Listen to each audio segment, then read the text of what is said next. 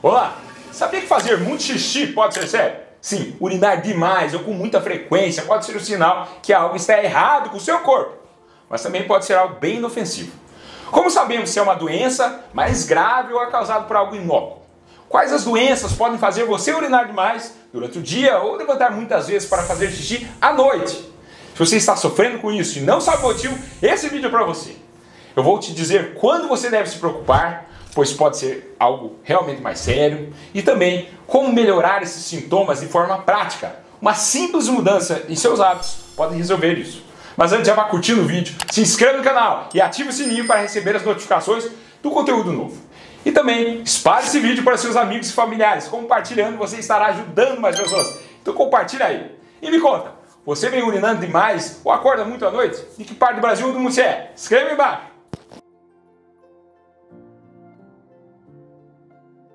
Vamos lá. Você urina demais? Primeiro de tudo, você não está sozinho. 30% dos homens e 40% das mulheres sofrem já sofreram com esse problema em algum momento da sua vida. E na grande maioria das vezes é algo inofensivo, ou seja, totalmente benigno. O trato urinário é dividido em rins, ureteres, bexiga e uretra. E muitas vezes o problema não está exatamente ali. Quantas vezes é normal urinar por dia? Um adulto é normal entre 5 e 7 vezes por dia. E quantas vezes é normal urinar à noite? Durante a noite o ideal é não precisar se levantar, mas 30% das pessoas acordam para urinar uma vez à noite. E veja, depois de 70 anos é normal a pessoa se levantar até duas vezes por noite. Então se você urina mais vezes, tanto de dia ou de noite, pode ser que algo esteja acontecendo e é preciso investigar. Qual a quantidade normal de urina por dia? O normal é considerado até 3 litros por dia, ou 40 ml por quilo de peso. Ou seja, se você tem 80 quilos, até 3 litros e 200 por dia é normal. Porém, é algo aleatório, depende da quantidade de água que você bebe e até do tipo de alimento que você come. Ah, por essa conta era para eu fazer 3 litros de xixi por dia, eu estou fazendo 4.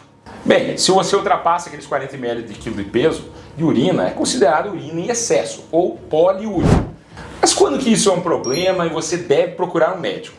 Primeiro, quando isso está alterando sua qualidade de vida. Se está interrompendo seu sono, você está urinando três, quatro vezes à noite. Está afetando sua rotina, está lhe causando desconforto. Você precisa saber onde está o banheiro ou interrompe suas atividades sociais. E quais os principais causas de fazer muito xixi? O mais frequente disparado é beber muito líquido. E quando que é muito líquido? Se você está bebendo mais de 40 ml por quilo de líquido. E isso pode ser exatamente a causa de você estar fazendo mais xixi que o normal. E justamente isso também é uma das principais causas de levantar tanto à noite. Você tentando dormir, tentando descansar e é acordado pela sua bexiga querendo fazer xixi. Duas, três, quatro vezes ou mais todas as noites. É horrível. Você não vai descansar, né? Então é melhor evitar líquidos depois das 8, 9 horas da noite para não ter que levantar muito à noite ou até melhor, que você não se levante nada à noite. Para tal, tenha certeza que você esteja se hidratando corretamente durante o dia.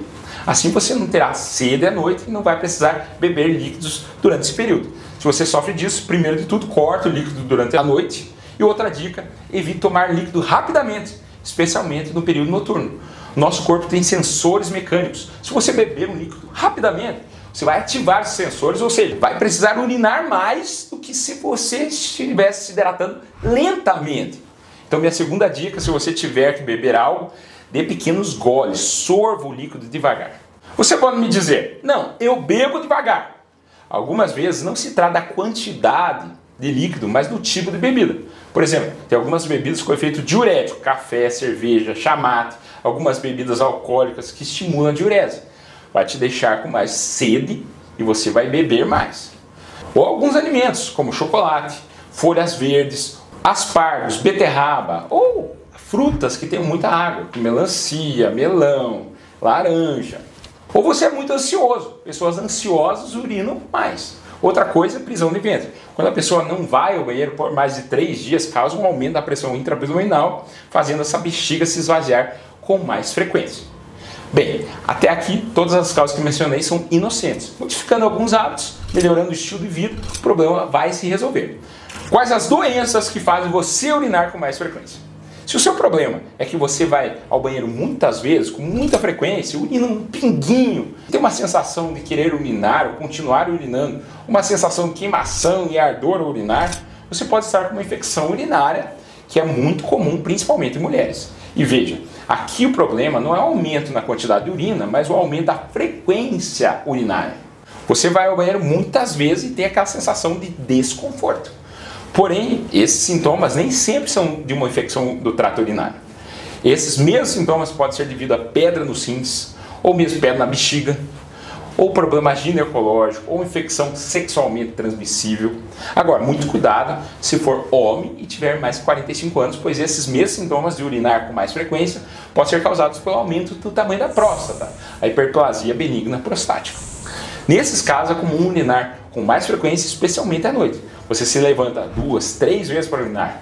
Às vezes esse homem tem que fazer mais força para urinar, já sai fraquinho, mais fino. E às vezes o problema não está nem aí, pode estar no intestino. A pessoa pode estar com diverticulite, alguma inflamação intestinal ou mesmo câncer no intestino. Pode ser algo ginecológico, um mioma, um tumor ginecológico, ou mesmo um tumor na bexiga. Nesses casos, você pode ter alguns sintomas como dor no abdômen, perda de peso sem motivo aparente, sangue na urina. Só que essas são causas mais raras. Tudo isso aumenta a frequência da micção. Porém, quais razões para a pessoa urinar mais do que o normal, maior quantidade? Tem pessoas que não bebem um pouco mais que o normal. Tem pessoas que bebem muito mais. Existe uma patologia psiquiátrica chamada potomania, na qual a pessoa bebe mais de 10 litros de água por dia, que obviamente não vai fazer bem, nem água demais faz bem, e também vai produzir muita urina. Mas muitas vezes essa maior quantidade de urina pode vir sem a pessoa tomar o excesso de água. Nesse caso, eu penso logo em diabetes, quando não está controlado ou quando ainda não foi diagnosticado. Se você tiver uma glicemia elevada no seu sangue, acima de 200 mg por decilitro, você vai urinar mais que o normal e pode ser diabetes. Porque o açúcar é eliminado pelos rins e vai carregar consigo a água. Nesse caso, a pessoa, além de ter poliúria, também vai ter muita sede, é polidípsia, e pode ter muita fome, polifagia. Agora, existe outro tipo de diabetes, além de diabetes médios, diabetes insípidos. Não tem a ver com a falta ou falta relativa de insulina, mas com o outro hormônio, o hormônio antidiurético. O problema pode estar no cérebro, teve uma batida na cabeça ou nos rins, e a pessoa vai urinar litros e litros, mais 3 litros por dia. E a urina é bem clarinha. E como tratamento, você vai dar o hormônio antidiurético intranasal e vai conseguir parar esse excesso de urina. E essa falta de hormônio antidiurético é uma das causas da pessoa idosa acordar mais para urinar à noite. A maior quantidade de hormônio antidiurético é liberado à noite. Quando envelhecemos, a pessoa vai produzir menos desse hormônio, levantando mais vezes para urinar. Por isso que é muito importante aquela dica que eu falei antes, beber pouco líquido à noite e se tiver que beber, beba devagar. Não tome um copo de uma vez. Agora, relembrando que homens mais velhos também têm problemas de próstata, além de hiperplasia. Porém, muitas vezes o problema não está no trato urinário. Algumas patologias retêm muito líquido durante o dia, principalmente nas pernas. Por exemplo, varizes, problemas de circulação. Isso significa que durante o dia vai se acumulando líquido nas pernas, o edema e quando a pessoa vai para a cama, esse excesso de líquidos vai ser reabsorvido e redistribuído. Vai ter muito mais líquido que deveria, ou seja, você vai ter que fazer mais xixi à noite. Outra causa muito parecida é do problema cardíaco, a insuficiência cardíaca. A pessoa vai reter líquidos durante o dia e à noite, dormindo, vai ter que acordar, porque esse excesso de líquido vai voltar para a circulação. Por isso que a pessoa pode acordar com falta de ar à noite, a dispneia paroxística noturna, e vai ter que dormir com vários travesseiros, senão vai ter aquela sensação de asfixia. O problema hepático também tem sintomas parecidos, vai reter mais líquidos. Agora, se você sofre com apneia do sono, seu sono vai ficar mais fragmentado e você vai acordar mais vezes para urinar à noite. Quando você deve se preocupar? Quais são os sinais alerta que você deve procurar seu médico? Primeiro, você está urinando demais e não tem causa aparente. Você não está bebendo mais líquidos que antes, você não mudou a sua dieta, você não está tomando nenhum remédio diurético ou utilizando bebida diurética. Nesse caso, procure seu médico.